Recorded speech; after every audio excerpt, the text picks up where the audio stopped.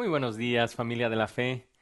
Me da tanto gusto el verte desde esta mañana. Espero que estés viendo este devocional en la mañana, al inicio de tu día, para que durante todo el día puedas meditar acerca del principio espiritual que te transmito.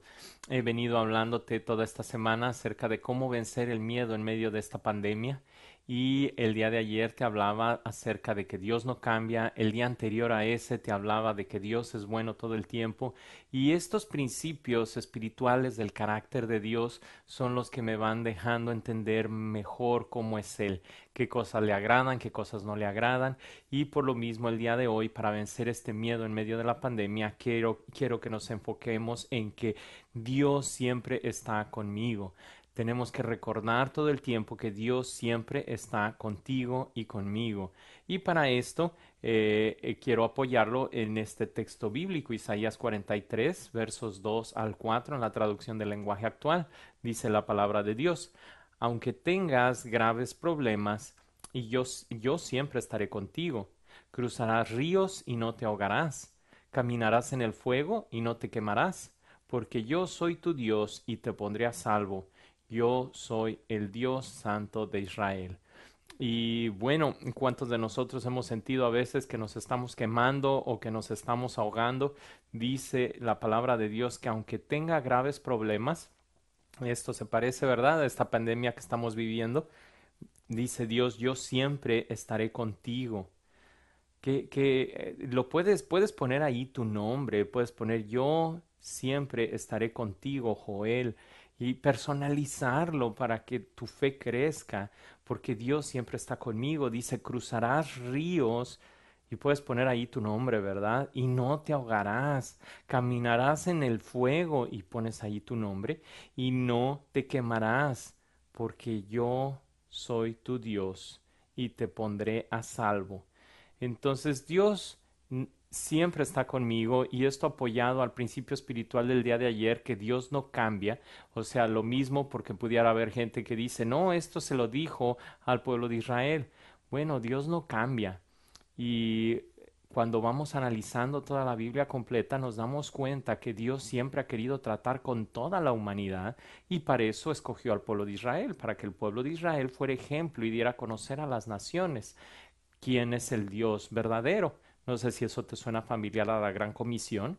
Dios no cambia, Dios viene trabajando en esto desde el Antiguo Testamento. Empieza en el libro de Génesis hablando de toda la humanidad, o sea, Dios tenía un plan para toda la humanidad y entonces de allí hace un pacto muy específico con Abraham y le dice a Abraham, a través de ti bendeciré a todas las naciones de la tierra. Nuevamente nos deja ver cómo Dios siempre ha querido tratar con toda la humanidad. Y entonces él hace un pacto, un pacto Dios con Abraham, y de allí viene el pueblo de Israel, que Dios mantiene su pacto. Sin embargo, Dios siempre le dijo, vas a ser un ejemplo para las naciones que estén alrededor de ti. Por lo mismo, no te contamines viviendo como ellas, ni comiendo como ellas, ni vistiendo como ellas, ni adorando ídolos como ellas. Y el pueblo de Israel no cumplió.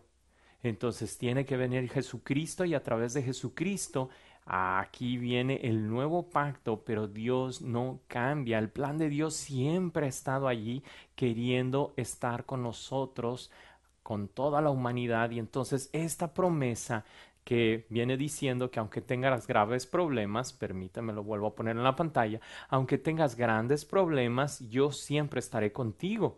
Cruzaré, cruzaré ríos, Joel, y no me ahogaré, caminaré en el fuego, yo, Joel, y no me quemaré, porque mi Dios, Jehová mi Dios, me va a poner a salvo. Jehová, el Santo de Israel, él, así como si fuera una firma, termina poniéndola allí, yo soy el Dios Santo de Israel. Y entonces, aunque dice que es el Santo de Israel, también es para mí y puedo poner ahí mi nombre. Dios está dejando ese que es el Santo de Israel porque hizo un pacto con Jacob que le cambió el nombre a Israel. Y entonces Dios te viene diciendo, yo siempre estoy contigo, así como lo estuve con Abraham, con Isaac, con Jacob, que después fue Israel, y con todo el pueblo de Israel, así estoy contigo. Espero en Dios que esto alimente tu fe al momento de darte cuenta que Dios tiene un plan con toda la humanidad desde el principio, desde el libro de Génesis, y que Dios siempre está con nosotros. Tú lo puedes ver en, en Hebreos 11, cómo Dios está con cada uno de esos valientes de la fe, con Débora, con Abraham, con Moisés, con Noé, con el rey David, con Sansón, con Gedeón. Sin embargo, cada uno de ellos pasó por tiempo difícil. Cada uno de ellos tuvo un tiempo de espera. Dios estuvo con cada uno de ellos así como está con nosotros. Dios está con nosotros, pero eso no quiere decir que no vamos a pasar por tiempo difícil.